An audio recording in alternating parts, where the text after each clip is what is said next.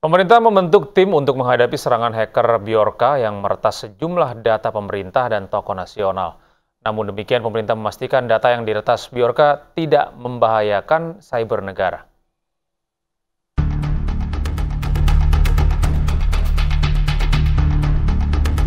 Pengguna Bridge for Biorka bocorkan data milik sejumlah lembaga plat merah mulai dari IndiHome hingga Presiden Joko Widodo.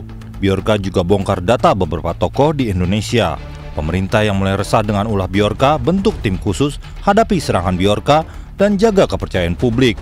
Tim melibatkan Polri, Badan Cyber dan Sandi Negara BSSN, dan BIN. Ya, tim lintas kementerian lembaga dari BSSN, Kominfo, Polri, dan BIN tentu akan berkoordinasi untuk menelaah secara dalam. Satu. Yang kedua, perlu ada emergency response team ya terkait dengan untuk menjaga data yang eh, tata kelola data yang baik di Indonesia untuk menjaga juga kepercayaan publik. Ya.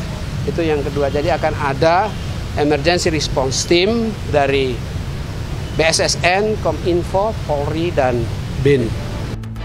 Kepala Sekretariat Presiden Heru Budi Hartono tak menampik ada data-data pemerintah yang bocor.